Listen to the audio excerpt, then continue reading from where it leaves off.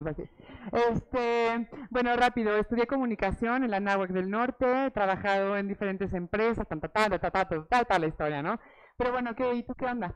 Bueno, pues resulta que toda la vida he estado como eh, en contacto con el mundo de la belleza, soy maquillista profesional también, este, y eso me llevó a, de repente, pum, soy modelo y ya me, me busqué una agencia, es que creo que tengo 10 minutos, ¿verdad? Entonces, bueno, lo voy a tratar de decir hasta que llegue a Beauty Red. ah, bueno. Entonces, siempre he estado como muy ligada al mundo de la belleza, pero yo siempre tenía como muy dentro de mí que quería pues hablar, sí, del mundo de la belleza, pero pues algo trascendental, ¿no? Empecé a hacer videos de YouTube y no sé qué, y maquillaba, tan, tan, tan. Y todo el mundo quiere hablar de maquillaje. Y yo, sí, ya sé, es muy padre, pero hay cosas más padres, ¿no? Bueno, el punto es que empecé a modelar hace ya casi cinco años y la verdad es que el modelaje se convirtió eh, como en una sanación en mi vida, ¿no? Eh, yo de chiquita siempre fui la gorda, la fea, la que nadie quería, la que, ya saben, ¿no? Eh, siempre se burlaban, se burlaban de mí, que estaba muy grandota, que estaba gorda, en fin.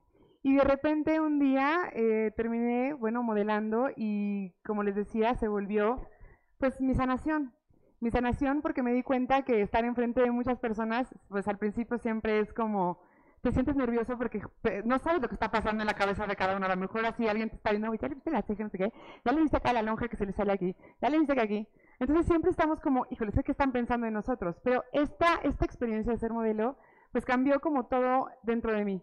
O sea, me dio como este poder de decir, ok, puedo estar enfrente de muchas personas y a lo mejor sí, se me sale la lonja, se me sale lo que sea, pero sigo siendo yo, ¿no? Sigo siendo yo y, no pasa nada. Bueno, un día eh, yo siempre había tenido en la cabeza, mi familia es de Italia y he estado allá, he vivido allá, tan tan, y siempre había tenido como la idea de ir a Italia a vivir o a Europa. Dejé todo, renuncié a mi trabajo, un día tuve un accidente y ese momento fue para mí como mi llamado de, Daniela, ¿cuándo vas a hacer lo que siempre has querido hacer? ¿Te vas a quedar aquí o te vas a ir? Y para mí ese fue el momento que dije, me voy. Llegué a Italia, bueno, llegué a Europa, ahorita, eh, bueno, yo me fui sin ninguna agencia, yo me fui a tocar puertas. Afortunadamente hoy tengo cuatro agencias, trabajo con dos en París, una en Berlín, una en Londres y bueno, la que trabajo aquí en México. Y eh, este fue el, un evento que se llamó Body Positive Catwalk que organizó una modelo que se llama Laura Brioski, me invitó a ir y este movimiento creo que cambió mi vida y también lo que, cómo percibo el mundo de la belleza. Primero llegué con ellas y si ven, yo soy de las más, de las más bajitas. Y cuando las vi, dije, ay, ya encontré a las de mi especie. O sea, ¿cómo lo dijo? Que hay mujeres también más grandes y más voluptuosas y hermosas, por supuesto. Pero yo me sentía como, ya llegué, aquí pertenezco, ¿no? Este, y bueno, es un movimiento que estuvo enfocado, sí, al cuerpo, está enfocado a las historias que cada una tiene, ¿no? Chicas que han superado anorexia, que han superado la bulimia, o u otras que han bajado hasta 50 kilos, ¿no? Entonces, eso es lo que celebramos en un movimiento como, como este en Milán. Pero yo, a partir de ese momento, dije, yo también, a mí también me gustaría finalmente poder compartir esta experiencia o hacer algo más allá de, sí, solo el cuerpo, ¿no? Pero ¿qué puedo hacer en París? Porque yo, mi base es en París. ¿Qué puedo hacer en París? París siguen siendo como una cultura demasiado cerrada, ¿no? O sea, abrir las oportunidades a cuerpos distintos está ya como muy complicado. No nada más a cuerpos, a lo que haces, ¿no? ¿A qué te dedicas? Si no eres director, bueno, pues entonces ya no te tratan igual. Entonces dije, bueno, en París no puedo, no, a lo mejor la gente no va a participar si salimos en en ropa interior. ¿Qué puedo hacer? Ese evento fue en febrero y a partir de marzo yo empecé como, bueno, ¿qué puedo hacer? ¿Qué puedo hacer? Y así fue como empezaron a aparecer mujeres en mi vida que independientemente de las historias de las mujeres que conozco, como todas ustedes que están aquí, y también los chicos, ¿no? Todos tenemos historias, este, pues me empezaban a sorprender, ¿no? Una chava de repente, pues me empezó a contar que la violaron a los 14 años, una señora de, 79, de 69 años, que hoy es una de mis mejores amigas, bailarina profesional, pues tuvo cáncer y le quitaron una boobie y ella sigue con muchísimas, muchos proyectos en su vida, ¿no? Otra chava que conocí en el metro, una africana que me ayudó con mi, con mi maleta, yo sufriendo ahí en el tren que no sabía, y me puse a platicar con ella y me contó que estaba en Francia porque se fue, o sea, huyó de España porque había sufrido mucho racismo. Yo dije, estas son las historias, esta es la, belleza, o sea, entendí que realmente la belleza no es tanto lo físico, lo que vemos, sino la belleza es la fuerza, es lo que, lo que, lo que vives, pero es como una fuerza interna que te hace seguir, ¿no? Lo que te hace seguir y que entiendes que, que puedes y que sí se puede. También entendí que las mujeres, lo que hacen ustedes, eh, cuando estamos en, en, equipo, hacemos cosas chingonas. Entonces, dije, ¿por qué no, junto a estas mujeres que me han inspirado a mí y que me han ayudado con sus, simplemente con platicarme su experiencia, ¿por qué no las junto a todas y nos reunimos y hacemos algo, algo juntas, ¿no? Y yo decía, bueno, pero ¿qué puedo hacer? ¿Qué puedo hacer? Voy a hacer algo así como que salgamos en vestido, porque quería que ellas y que las mujeres también sintieran esto que yo he sentido en mi experiencia como modelo, que es estar enfrente de las personas, que te estás, perdón que soy muy pelada, porque te estás cagando de miedo y al final tienes que hacer, o, de pena y lo tienes que hacer, y después saber que no pasa nada. Y dije, bueno, ¿por qué no hago un happening? Aparecemos todas, pues como empoderadas, en Trocadero, está de pelos. Y eso pasó. Entonces las invité, fuimos casi fuimos 25, 25 chicas que participamos de diferentes edades. Y así empezó como la maravilla de lo que es este movimiento. La gente, no sé, algo sucede, algo sucede que muchas personas quieren, quieren apoyar. De hecho, en París también así fue.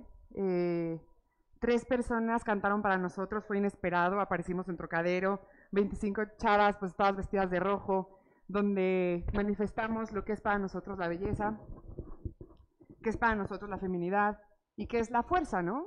Todas de rojo porque significa justo eh, el poder femenino, la sororidad, ¿no? Que estamos todas en, en equipo y estamos juntas. Bueno, pues ya, al final pasó, estuvo muy padre, increíble, bla, bla, bla, se acabó, ¿no? Y yo venía a México y dije, ¿por qué no? Soy mexicana, ¿por qué no hago Beauty Red en México? O sea, si ya lo hice en París, que París es tan cerrado donde yo no hablo francés, llevo año y medio no he aprendido francés, ay Dios, no, no, qué vergüenza. Pero es que la verdad es que está complicado, o sea, está difícil, si hablo lo básico. Que lo voy a hacer en México, en México conozco, pues conozco chicas del, del medio, de la industria, yo estudié comunicación, conozco prensa, pues puedo hacer algo. Y la verdad es que llevo un mes y ya está casi todo listo. Hay muchas personas que se han unido. Eh, Mara, una de ellas, que me ha apoyado primero estar aquí. Este, y bueno, pues invitarlas a que si alguien quiere participar, no es un movimiento feminista, es un movimiento que apoya y que celebra a la mujer, pero que también reconoce a los chicos y que también reconoce a los hombres casi todo el equipo de Beauty Red en México son, son hombres. Este, la productora que me está ayudando a poner pues la música, este, los que están haciendo el video, los que están haciendo como toda la producción son hombres.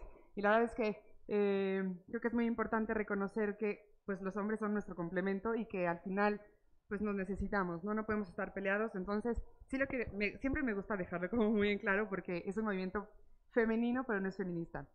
Este, este es un video que, que hice, bueno, a lo mejor no se va a escuchar, así que bueno, ni se preocupen, solamente era, ahí se veía como algunas de las fotos y una parte de lo que pasó en París.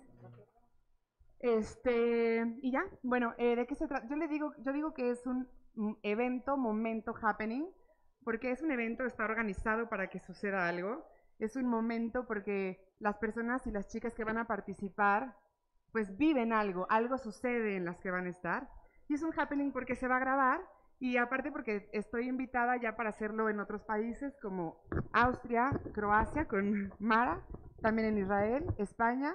Así que bueno, pues espero, espero que sí, que así siga. Eh, se han unido marcas aquí en México también para apoyarme, no a mí, al movimiento. Este, y bueno, pues todas somos una misma voz. Esa es la, la base del movimiento. No importa no importa tu historia, no importa tus experiencias, no importa tu pasado, no importa tu orientación, sexual, tu profesión, nada, o sea, todas somos una misma voz y eso es lo más importante. Así que bueno, pues esto es Beauty Red. Ah, el happening va a ser en el Ángel en Independencia el 3 de febrero a las 12. Espero que sea a las 12 en punto. estoy muy contenta porque, bueno, les decía que en París fueron 25, pero aquí vamos más de 100 registradas. Entonces creo que va a estar, espero que lleguen, somos más de 100 para que lleguen 100, ¿no? Siempre. Pero si somos 100, yo creo que ya está, está increíble. Y bueno, si alguien se quiere unir, pues ahorita les, les, les comparto en la liga del grupo donde voy a pasar todos los datos. Y los chicos, si quieren ir a participar o nada más apoyar, que también los necesitamos, pues ahí los esperamos en el Ángel de la Independencia el 3 de febrero, un poquito antes de las 12, para que para que les toque, para que les toque ver, ¿no? Bueno, pues eso es, eso es todo. Muchísimas gracias. Muchas gracias, Mara. Y muchas gracias a, a todos por estar aquí también. Yo también ya quiero estudiar Java, porque pues yo también quiero mis 30 mil dólares. Ahí le come, dice, ¿no?